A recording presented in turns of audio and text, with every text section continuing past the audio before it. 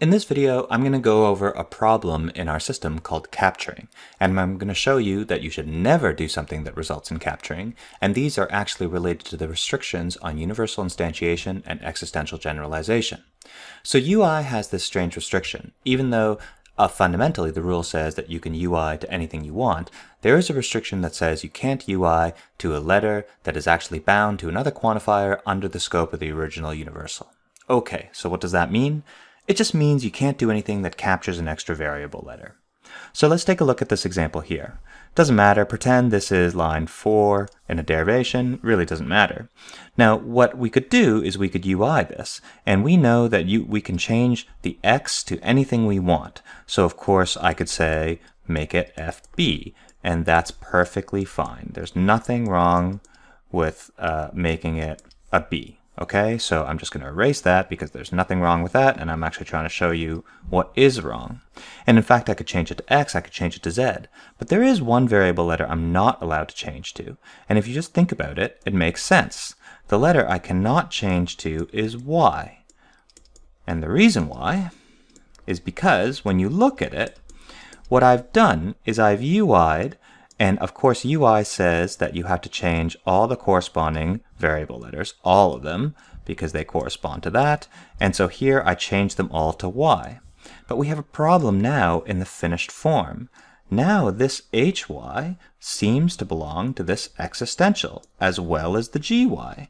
And that's not the case originally. Originally, the H is really under the scope of the universal X and not really being affected by the existential Y. But after I did the UI to the letter here, which was the Y, you can see that I captured uh, the H under the existential. So by fiddling with the F and the H predicate, which were under the universal, somehow the existential captured something new that it shouldn't have, so of course this is no good. That is not a valid instance of universal instantiation, and you can never do that. This doesn't happen too, too often, but you need to look for it when you have nested um, quantifiers, so one inside the other. Now, some people think that the uh, capturing rule is impacted by names as well. So some people would look at this and say, oh, you know, this is the one that I can't do. And you would think that this is wrong. In fact, there's nothing wrong with this. And the reason why is nothing new is captured because there's no quantifier to capture it. So this is A-OK. So the problem arises when you have extra quantification and then you would capture something new. So don't do that. That's the restriction on universal instantiation. Now the restriction is similar for existential generalization. So let's say I'm looking at this and I want to generalize my f predicate. And so one thing I could do is of course I, I could say there exists an x, fx, and hy. And that's perfectly correct. But it turns out that this x is somewhat arbitrary. I could replace it with a different variable letter if I wanted, like z, and we all know that this is perfectly correct too.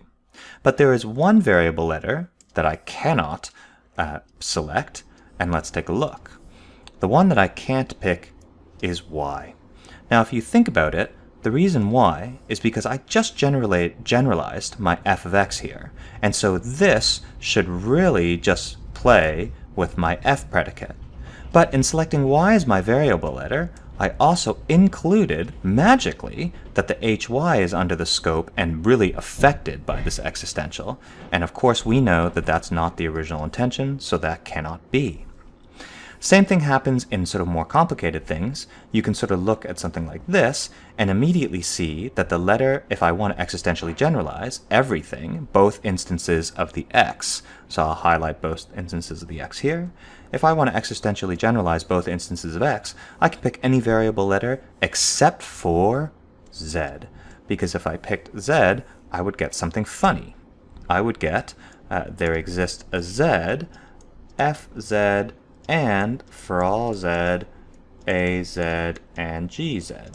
And of course, that means that suddenly this gz is under the scope of the universal. But that's not what I did over here, and so I've captured something under the universal. Now again, name letters, uh, people will be like, oh, that means you can't do this. Oh, that's not what I wanted to write. People will think that that means you can't do this. There exists an A, F, A, and GA. Well, actually, that's correct, but not for the right reason. The reason you can't do this is you can't existentially generalize to name letters at all.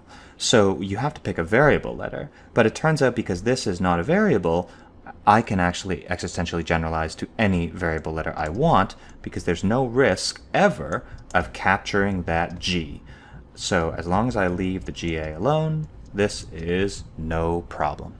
So this is just a little slight explanation on capturing. Capturing is really important because it turns out to sort of arise in some of the more complicated questions, especially things related to the blind UI, and, uh, and you want to avoid any sort of mistake like this because it actually is sort of a cheat, logically doesn't follow in most cases, and uh, yeah, it makes questions a lot easier if you do this cheat, so we're going to make sure that this isn't allowed.